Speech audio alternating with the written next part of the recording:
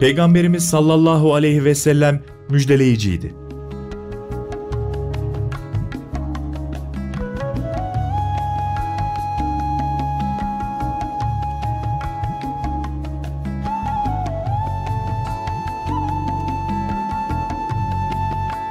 Peygamberimiz sallallahu aleyhi ve sellem insanları hem cehennem azabına karşı uyarıp korkutmuş hem de onları Allah'ın müminlere vaat ettiği dünyada ve ahirette üstünlük, başarı ve ebedi mutlulukla müjdelemiştir.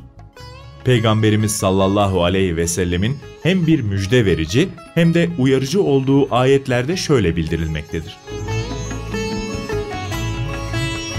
Ey peygamber! Gerçekten biz seni bir şahit, bir müjde verici ve bir uyarıcı olarak gönderdik. İnananları şevklendirmek, Kur'an ahlakını yaşayan insanlar için önemli bir ibadettir.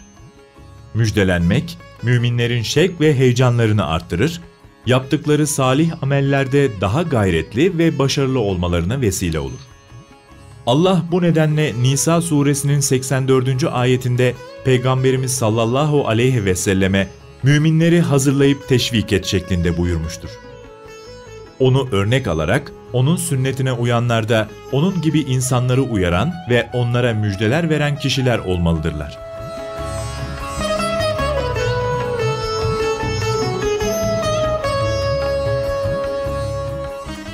Allah'ın emrine ve Peygamberimiz sallallahu aleyhi ve sellemin ahlakına uyan her mümin tüm Müslümanları müjdelemek ve onları teşvik ederek şevklendirmekle sorumludur.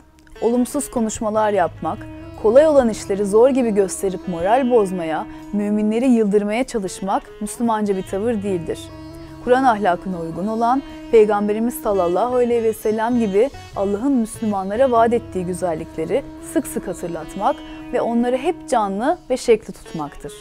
Nitekim Peygamber Efendimiz sallallahu aleyhi ve sellem de ümmetine müjde verenlerden olmalarını şöyle buyurmuştur. Kolaylaştırın, güçleştirmeyin. Müjdeleyin, nefret ettirmeyin. Birbirinizle iyi geçinin, ihtilafa düşmeyin.''